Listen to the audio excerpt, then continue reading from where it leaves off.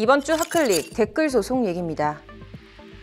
국정농단 당사자로 복역 중인 최순실, 동물 불법 안락사 혐의로 실형을 선고받은 박소연 케어 전 대표, 가수 고 구하라 씨를 폭행 협박해 징역 1년 형기를 마친 최종범.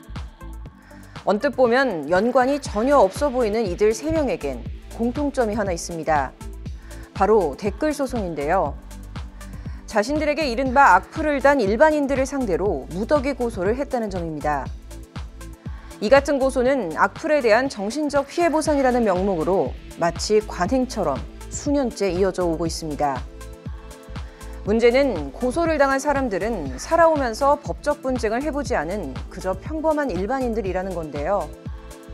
난생 처음 받아보는 소장에 두려움에 떨며 놀란 마음에 합의하겠다고 말했다가 감당하기 어려운 금액을 고스란히 떠안게 된 경우가 대다수입니다. 국정농단으로 대국민 비난을 한몸에 받았던 최순실 정유라 무녀는 자신들에게 비판적 댓글을 쓴 사람들에게 한 건당 수백만 원의 합의금을 요구하고 있는 것으로 알려졌습니다.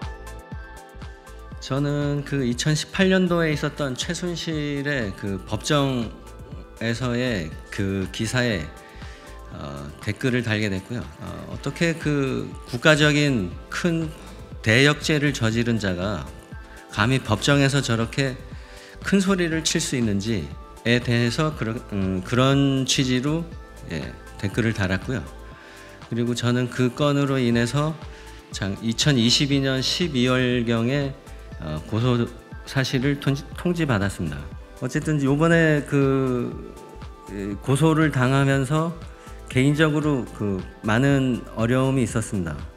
개인적 저로서는 이제 자영업을 하기 때문에 경찰 조사를 받으러 가는 것도 생업을 일부 포기하고 가야 되는 거고 또 법적으로 어떻게 대응을 해야 되는지에 대해서도 박소연 전 대표 역시 불법 안락사 논란 이후 분노로 들끓은 여론 탓에 많은 악성 댓글을 받았었습니다. 이에 박 전 대표는 댓글을 단 수천 명을 상대로 고소 취하 조건으로 합의금을 적게는 100만 원에서 많게는 600만 원까지 제시한 것으로 드러났습니다. 변호사의 사무실에 전화를 했어요.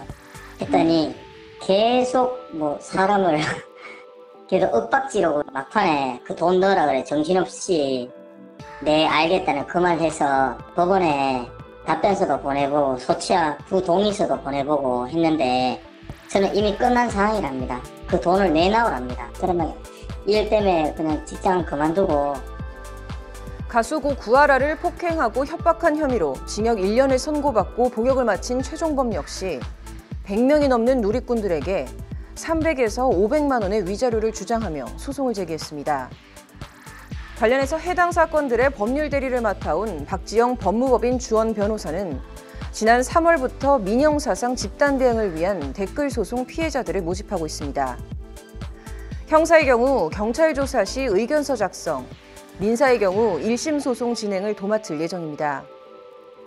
박 변호사는 국민적 공분을 산 행동을 한 자들이 소송을 낸 것 자체가 대단히 부적절하다고 목소리를 높였습니다. 국민적인 분노를 또다시 유발한다는 부분인 것 같습니다.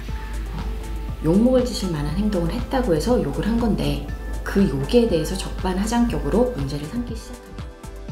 피소를 당한 사람들에게 모두 모욕죄 혐의가 적용됐는데 이를 두고 당황하거나 지레 겁먹지 말고 적극적으로 대응하라고 박 변호사는 조언했습니다.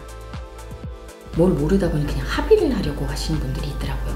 그래서 이거 정말 이길 수 있는 거고 답변서도 이렇게 조금만 준비해서 내면 되는데 이렇게 욕먹을 만한 행동을 해서 욕을 했을 경우에는 기각이 된다는 사실을 국민들에게 알려주고 싶습니다.